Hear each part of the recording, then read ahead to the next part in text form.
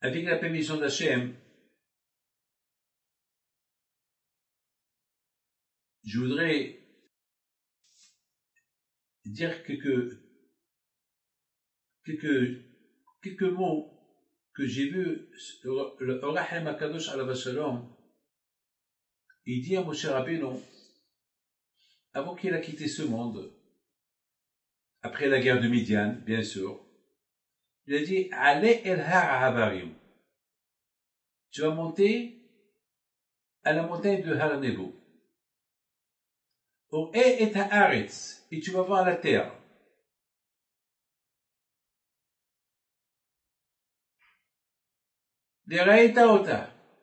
et tu vas la voir. Alors, Rahim Akadosh pose une belle question. Il dit, pourquoi la Torah dit deux fois, et tu montes au mont de Nebo, et tu vois la terre, et tu vas voir la terre? Pourquoi deux fois tu vas, pourquoi le mot deux fois voir?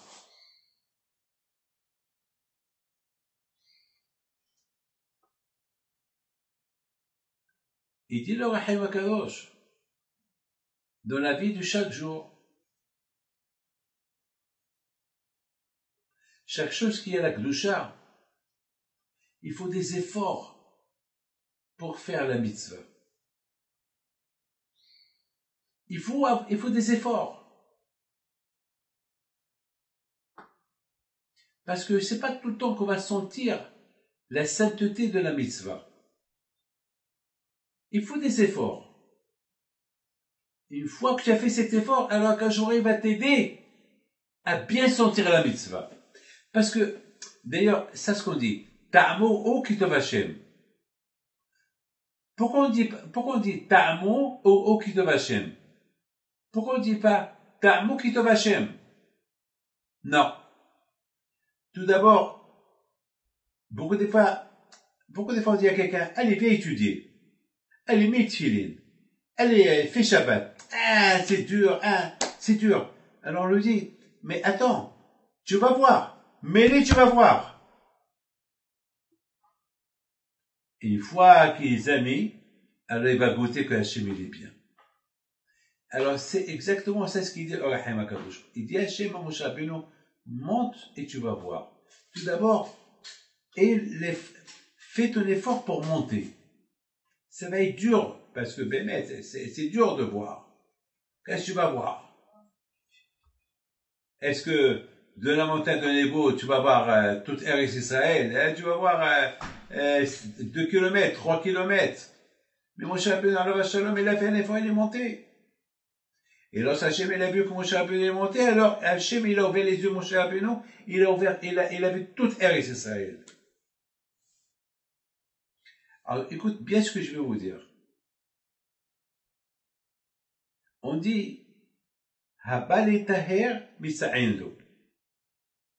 que celui qui fait un effort pour faire une mitzvah, on va l'aider pour, pour la faire. Parce que c'est très dur de faire une mitzvah.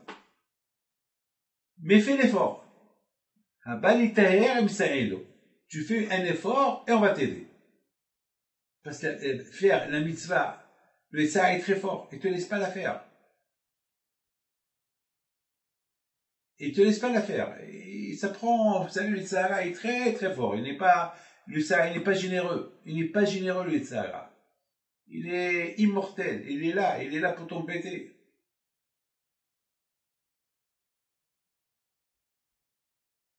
Pour aller Elhar à Avarim. Pour monter Avarim, si tu veux Averot. C'est ce que je pense. Pour surmonter les Averot, il faut un effort. Fais l'effort et Hachem va t'aider. Tu vas voir, il va t'aider. Je pense exactement, je, me rappelle une fois, j'avais une question et j'avais pas de réponse. Et j'avais un cours de Torah et je voulais parler sur la question, mais j'étais pas convaincu de la réponse. J'étais pas convaincu du tout de, la réponse. Et c'était la du Shabbat, il me restait une minute pour vous savez, on passe toujours, je fais le cours le Shabbat après, après les Ranena. Alors, non, après les. Entre temps, tout le monde était debout, Bismor, chez les Yom à Shabbat, et voilà, dans quelques minutes, je commence mon cours, il me manquait quelque chose.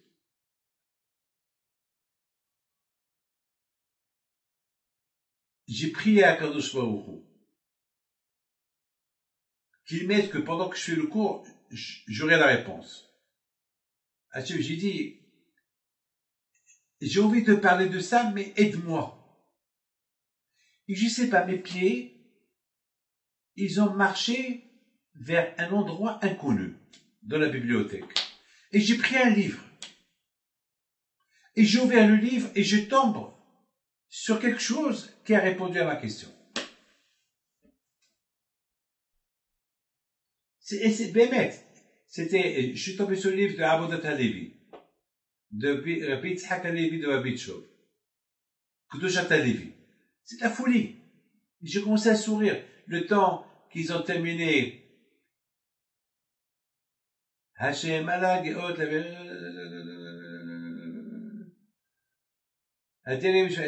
עדותיך נבנו מאוד, בביתך בקודש, עמוני לאורך ימים. Et tout le monde s'assoit, j'avais la réponse. C'est dans ce fait, Hachem, il te dit, tu as vu David, tu as fait un effort. Voilà, tu donnes la réponse. Vous savez, il y a la semaine dernière, il y avait quelqu'un qui a été poignardé. Plusieurs fois. Plusieurs fois. Et le monsieur qui m'a, qui m'a appelé pleurait au téléphone. J'ai dit, tu le connais? Il m'a dit, je le connais pas. Et j'ai dit, pourquoi tu pleures? Il m'a dit, je pleure, j'ai de la peine pour lui parce qu'il a laissé des enfants, j'ai de la peine pour eux. On dirait, on dirait que le monsieur qu'ils ont poignardé, c'était son frère, c'était son père, c'est son fils. Il fallait voir comment il pleurait, le pauvre. J'ai dit, s'il y avait des gens comme toi, le Betamikdash n'aurait pas été détruit. C'est, ce qu'on appelle l'amour gratuit. Eh bien, ce monsieur-là, le lendemain, les médecins, ils ont dit, ils l'ont classé mort, presque mort. Et ce monsieur-là, il a ressuscité, et aujourd'hui que je te parle, il est chez lui à la maison. C'est grâce à qui? Grâce à la prière de ce monsieur-là. Moi, je dis c'est grâce à ce monsieur-là. Parce que les médecins, ils ont abandonné les médecins. Les médecins, ils ont dit, on ne peut, rien faire. Peut-être s'il reste vivant jusqu'à demain, on va essayer. Le lendemain, ça y est, il s'est levé. Et ça y est, ils n'avaient pas besoin de l'opérer. Vous savez, je pense, c'est ça la paracha de cette semaine.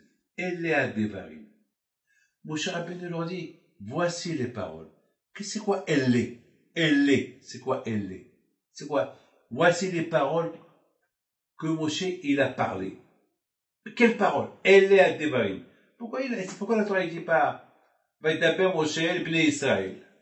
C'est quoi? Elle est à Devarim, Hachidibé. Voilà les paroles. C'est quoi? D'après ce que je dis, la réponse est extraordinaire. Moshe Rabbeinu il leur a dit, je sais que mes paroles sont très dures, parce qu'avec mes paroles, il y a beaucoup de, des remarques que je, je, vais, je vais vous faire. Mais si vous les acceptez, vous allez réussir. C'est dur, mais si vous les acceptez, vous allez réussir. Faites un effort, acceptez-les. Si vous les acceptez, écoutez-les. Et les. Écoutez, écoutez-les. Et acceptez-les bien. Même que ça va vous faire du mal de les écouter. Faites, faites, vous allez voir, ça va vous faire, ça va vous faire beaucoup, beaucoup, beaucoup, beaucoup de bien.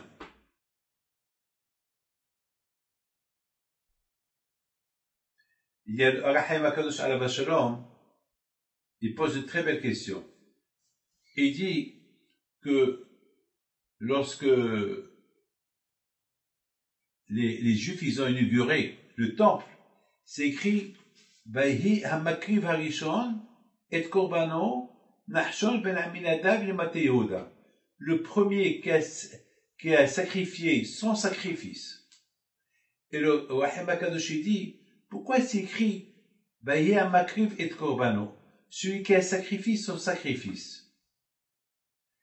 Et, mais ces sacrifices-là, c'était pour Hachem. Pourquoi la Torah n'a pas dit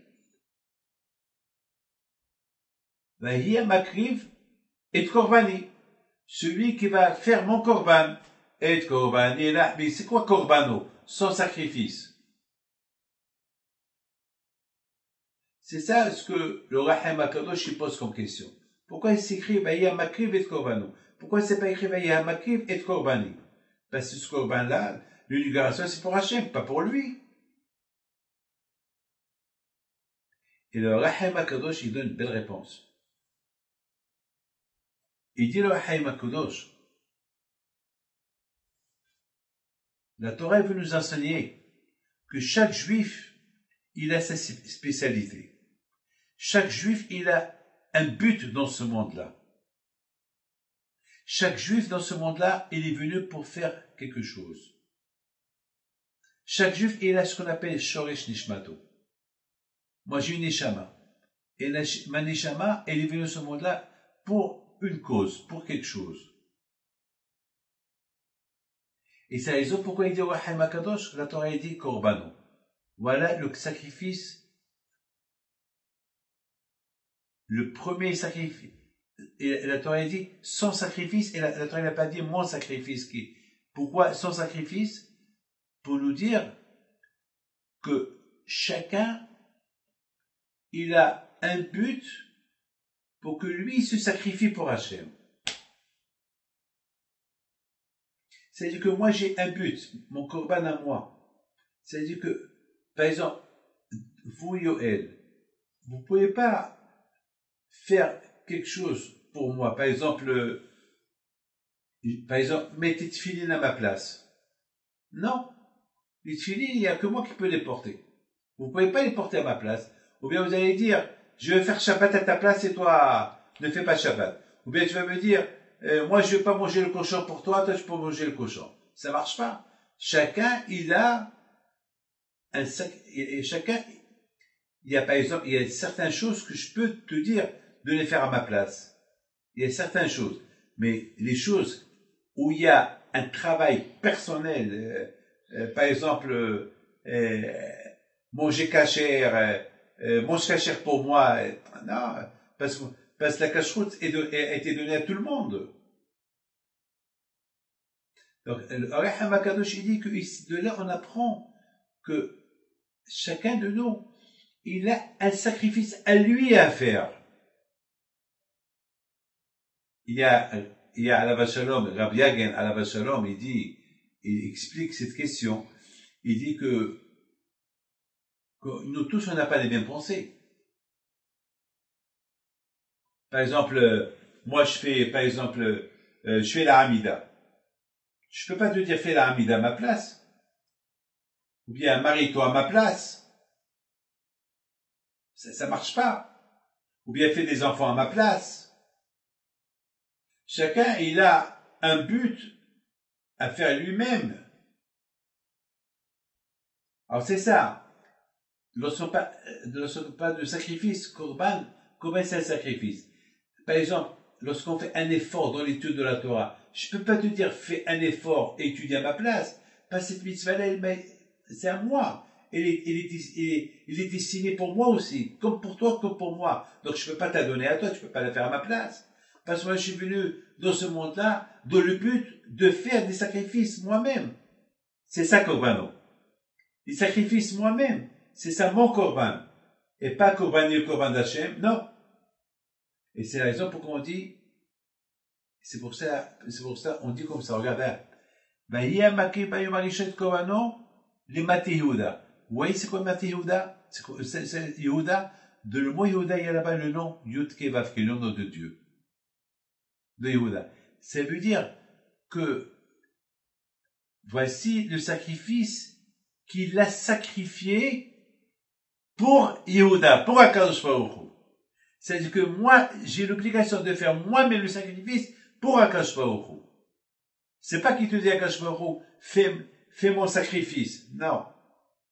Déjà, tu fais, toi, l'effort, et cet effort que tu fais, c'est pour Akadosh Baruch Et je pense, je pense, euh, c'est ça ce que, je pense, c'est ça ce que Moshe Rabbeinu, il a voulu dire au Bnei Israël. Elea Devarim Hachid Ben Moshe. Moshe Rabbeinu, Shalom, il a parlé à chaque juif. Elea Devarim. Chaque juif, il doit les faire.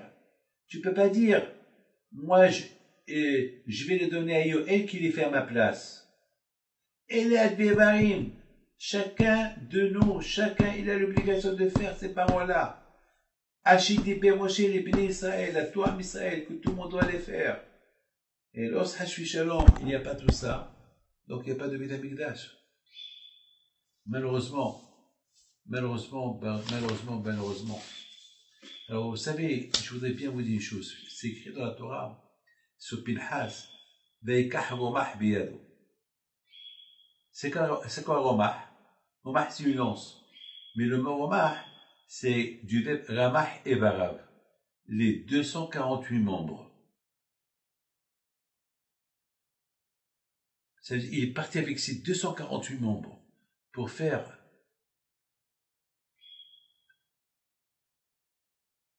un geste pour Hachem. Il a vu que personne ne fait rien, alors lui, il a bougé.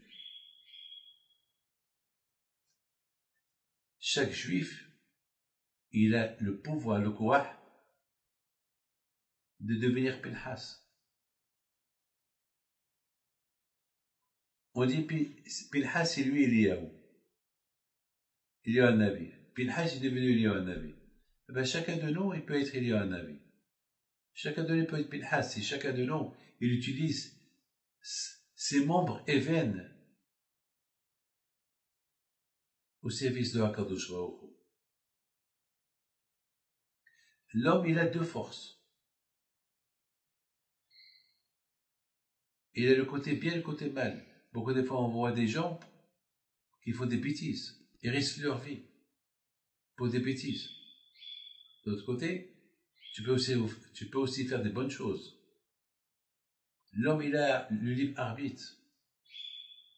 Vous savez, j'ai toujours dit, pourquoi quand je il a créé que la personne, il est fatiguée Alors, qu'est-ce qu'il fait lorsqu'il est fatigué? Il se repose. Et lorsqu'il se repose, il est bien. Euh, et lorsqu'il est bien, il dit, Baruch Hashem. Hashem, il sait que l'homme, il peut s'habituer. Et l'habitude, c'est la chose la plus grave. Tu t'habitues à faire la Hamida, ah, tu penses pas à la Hamida. Tu t'habitues à faire des, à, se lever le matin, tu fais modé. Tu penses pas au remerciement qu'on remercie à Kadosh Baruch Alors Hachem, a fait que, on est malade, on guérit, on fait le gomet. Merci à Hachem. Hachem, il a fait, est-ce que toujours on va sentir qu'on dépend de lui. Donc, même le fait, d'ailleurs, le matin, dès qu'on se, réveille, qu'est-ce qu'on dit? Merci Hachem que tu m'as donné, eh, que tu as donné la force aux, aux, aux, fatigants. Ben, Hachem, il a porté, pour dire merci à Kadosh Pourquoi on dit merci? Et malheureusement, lorsqu'on avait le Beth on n'a pas apprécié Akadosh Baruch C'est la raison pourquoi maintenant, au lieu de dire merci à Hachem, on pleure la destruction de Beth On la pleure.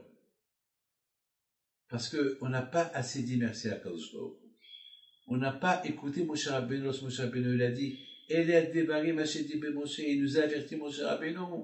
Il nous a averti, voilà, avec, depuis la sortie de l'Égypte, Matan Torah, le Vaudor, la Mahlouket, vous, avez gagné les guerres, il vous a donné Eris Israël, et Baruch Hashem, et Elbit Abigdash, et à la fin, et je vous avertis, il faut pas que ça arrive, il faut pas que ça arrive que vous allez être seul, jeté de, de Israël, faites attention, et malheureusement, vous m'avez pas écouté. Alors, alors, Moshe, Eliad Devarim, il y a deux forces en vous. Il y a la force du mal et la force du bien. Mais avec la Torah, vous allez choisir le bien. Lorsque j'étais à Miami, et j'ai vu cette tour qui s'est effondrée, je suis passé à côté cinq minutes avant, ou dix minutes avant, et je l'ai vu. J'ai dit, chaque, et pendant 20 ans, je recevais les gens là-bas. 20 ans, je recevais les gens là-bas. Et je me suis dit, ah, ça fait un an et demi, j'ai pas reçu les gens là-bas. Parce que les gens chez qui je recevais, je leur ai donné un conseil de déménager là-bas l'année dernière. Ils ont déménagé. Ils ont eu la vie sauve. Moi aussi, j'ai eu la vie sauve. Parce que il, se peut qu'ils pouvaient tomber il y a deux ans lorsque j'étais là-bas. Le jour que j'étais là-bas. Et Chivishmo.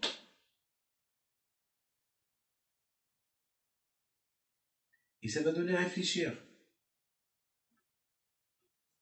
Et combien je dois dire merci à Kadosh Baruch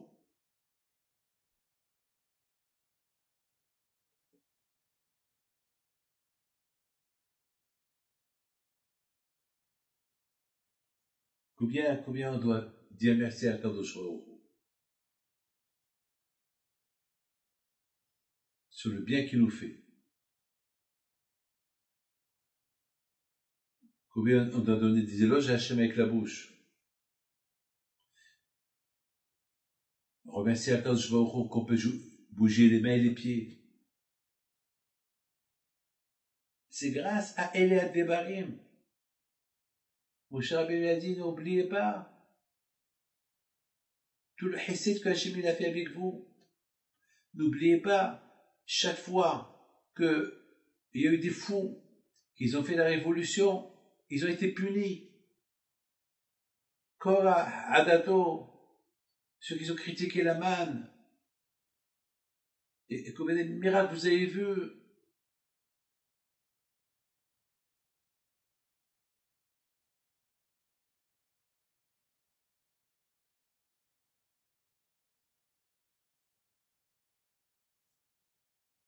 Pinhas, c'est lui Eliyahu. Et c'est Eliyahu qui va nous annoncer la venue de Mashiach. Ele, Al-Devarim. De Ele, il y a là-bas comme un peu de Eliyahu. Ele Al-Devarim. Il y a Echayash Vabadat et il y a Ele. Donc Ele, Ele Al-Devarim. Il y a je vais vous envoyer il y a, elle est. Elle est à Devarim. C'est pas écrit tout Eliyahu, mais il y a un peu de son nom là-bas. Parce que de cette séparation parle de la, de la destruction de Betamikdash. De, de cette séparation parle de, de la, la, les critiques qu'ils ont critiqué les miracles, et à cause de ça, il y a eu Et déjà, Hachem, il nous a préparé Pinhas avant, avant que le Beth ait été détruit. Déjà, Pinhas, on parle de Pinhas. Pinhas ou Eliyahu. Regardez, Hakadosh il n'apporte pas du mal, un mal jusqu'à qu'il apporte, il prépare le bien pour guérir le mal. On parle de la paracha de Bil'am. Et qu'est-ce que Bil'am dit? Bilam, il parle des fins des temps, que, à la fin des temps, il va avoir beaucoup, beaucoup, beaucoup de Gil comme aujourd'hui. Les parades de, de Znout, comme le Znout aujourd'hui, il est, il est, il est répandu dans le monde entier. Znout sur l'internet, Znout, la débauche de partout aujourd'hui. Et il n'y a pas de, vêtements cachés, il y a Gilo Arayot, il n'y a pas de, il n'y a pas de tsniout, rien du tout. Et ça, c'est un, petit pourcentage de ce qui nous a réservé Bilham avant que Mashiach y vienne. Mais Hachem, il a prévu Elia aussi.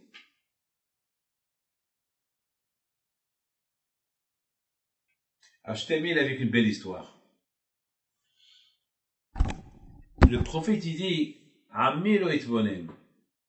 Dommage, mon peuple, il n'a pas réfléchi un peu tout le bien que je lui ai fait, et eux, ils ont fait le contraire, soit que j'ai détruit le Beth Alors il y a une très belle histoire que donc c'est rapporté dans Sioné à Torah. Il y avait un, un, couple qui n'avaient pas des enfants. Et après plusieurs années, ils ont eu et la femme est tombée enceinte. Alors maintenant, voilà, le mari il a pris sa femme à, l'hôpital. Il voit, il voit les médecins qui rentrent, qui sortent, qui rentrent, qui sortent, qui rentrent, qui sortent. Alors, euh, il demande, qu'est-ce qui se passe? Ils ont dit, ta femme, elle est vie à la mort. Alors, on a, on sait pas quoi faire. Ou on sauve ta femme et le bébé meurt, ou on sauve le bébé et ta femme elle meurt. On ne sait pas quoi, quoi décider. Il leur a dit, demandez à, la mère. Moi, je ne peux pas vous dire. Ils sont partis à la mère. Il lui dit, voilà, on te sauve, le bébé meurt, ou on sauve le bébé et toi tu meurs. Qu'est-ce que tu choisis? Elle a dit, waouh, mais à quoi ça me sert de vivre si mon fils y meurt? Je préfère moi que je meure et mon fils y vit. Alors ils sont, ils ont appelé le mari, ils ont dit voilà, elle préfère que elle, elle meurt pour que son fils y, vit. Alors, il a commencé à pleurer. Alors la mère, elle lui dit, ne pleure pas parce que sinon les deux vont mourir. Une, chose, seule chose je te dis, n'oublie pas, une fois que mon fils y grandit, dis-lui que j'ai donné ma vie pour lui.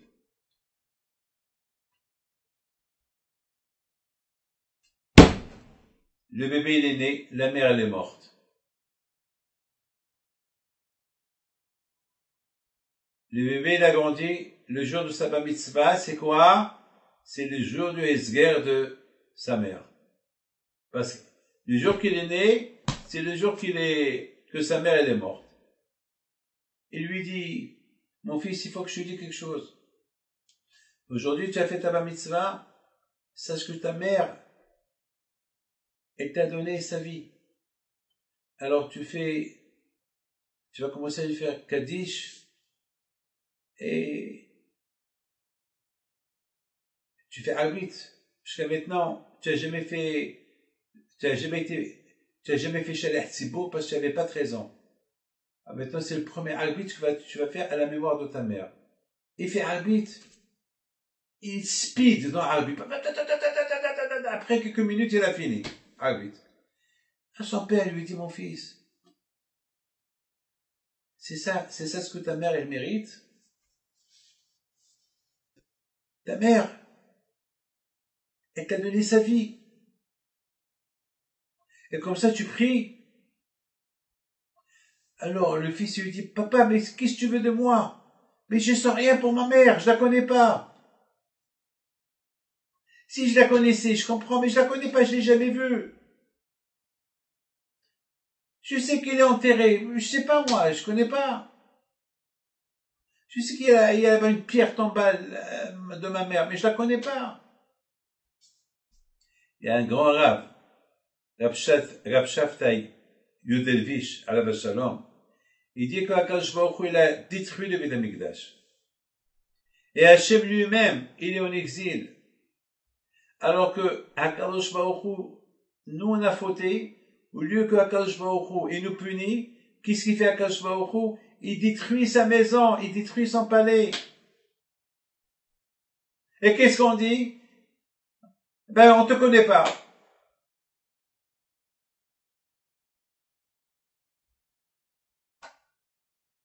La folie, la folie, la folie. Akadosh Baruch il a donné. Il est sans maison.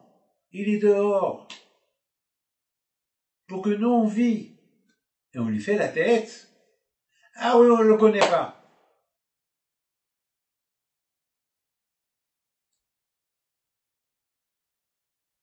On ne le connaît pas. Ben, je pense, mon fils, c'est la raison pourquoi chaque jour on a l'obligation, c'est ce que j'ai pensé tout à l'heure. Chaque jour, il y a une halakha qu'on doit chaque jour penser un peu au Mikdash. Pourquoi? Au moins pour qu'on construise dans notre tête ce que Hachem a fait pour nous. Comme ça, le jour du Shabbat, on fait un peu de prise de conscience. Il ne faut pas qu'on soit comme ce monsieur-là qui speed dans Arvit. Il faut que, faut qu'on s'assoie, on réfléchit un peu.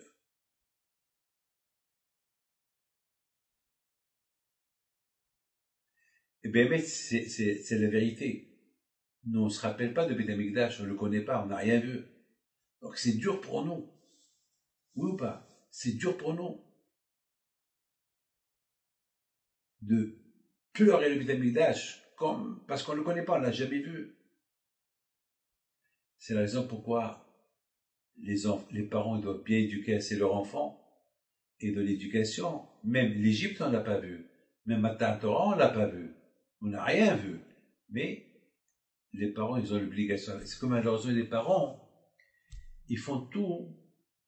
Et aujourd'hui déjà, parce que avant les, avant les fêtes, avant les, après Tchabéav, c'est les gens déjà pendant, avant Tchabéav, les gens pensent déjà aux vacances. Donc tout est mélangé.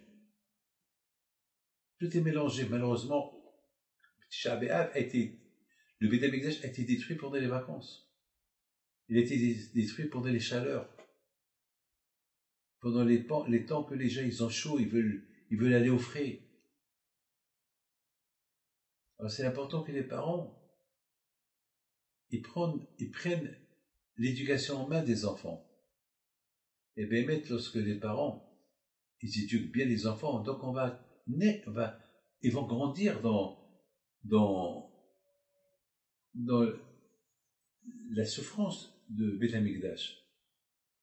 moi, je rappelle à Essaouira, c'est pas comme aujourd'hui, je rappelle à Essaouira, vraiment, hein, on sentait le Betamikdash.